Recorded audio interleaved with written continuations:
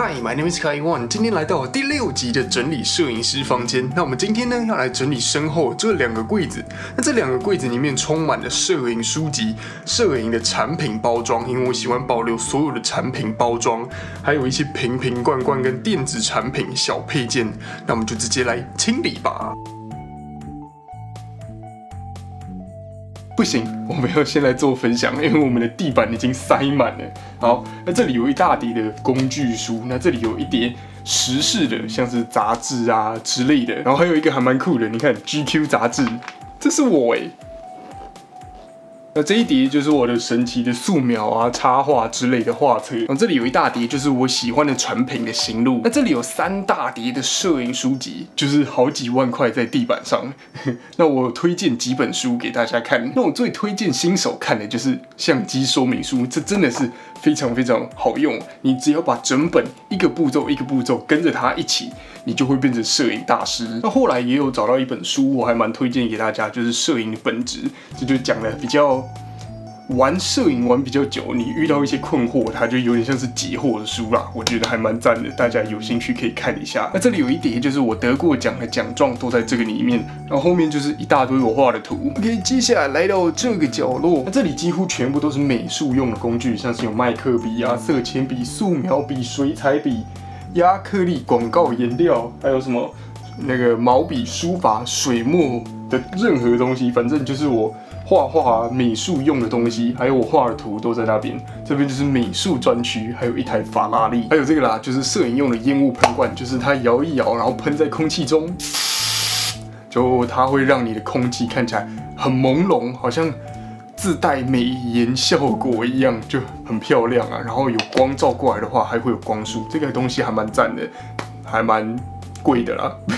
但还蛮推荐的。OK，那我们就把我们地上所有的东西全部塞回柜子里面。好了，那我们上半部给它完成了，那我们接下来就来整理下半部的部分。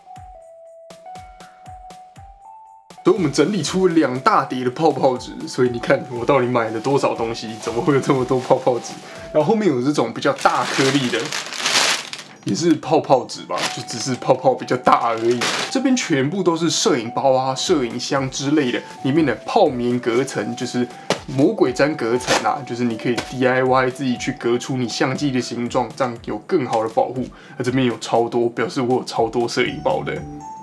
好了，那我们接下来就把所有东西再放回柜子里边。看这边还有超多泡泡纸，这边就是没有气的泡泡纸了，那那边要放回去的就是有气的泡泡纸。耶，完成二分之一了。那这边的柜子完成之后，我们接下来就要用这边的柜子。那我看一看，下面其实叠的蛮好的，没有什么大问题。但是从中间到上面就开始有一点乱了。我们把中间上面清干净就好。那下面就已经叠的好好的，我们就别再动它了。OK，又满地东西啦。那我们就来慢慢分享一下，到底地上有什么东西。那那边是比较。呃，电子的东西就是我喜欢电子产品啊，我就把盒子留下来。那这一边呢，就是比较偏摄影的，就是摄影的周边啊，有关摄影的东西，我就把它留下来。那这一边呢，就是充满的 SanDisk 记忆卡，超多。好，那我们接着就要再把东西慢慢的塞回去喽。OK，那整理好了，那我们接下来就来跟大家分享我们柜子怎么摆呢？那我们最上面是放我的什么全开的图啊，或者是四开的图，就比较大张的图，那或者是把它卷起来的东西啦，就是比较海报啊之类的。那这一层呢，就是把所有的摄影书全部都放在这边。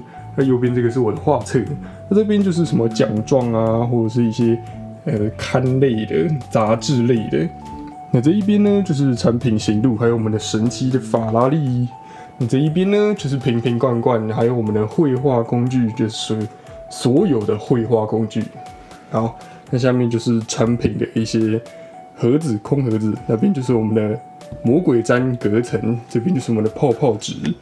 好，换下一边，最上面这边呢，就是我所有的产品包装都在上面，不关摄影产品的全部都在上面。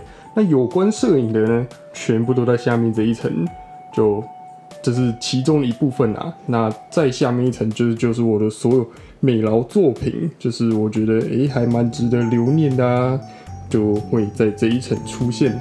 那最下面就是我们还没有给大家看的，但是就是也是一样，一大堆电器产品，一大堆摄影的东西。OK，这我们今天的整理摄影师房间第六集。那我们已经没有办法再继续整理下去了，因为现在已经半夜了，需要安静一点点。那我们就改天再清理吧。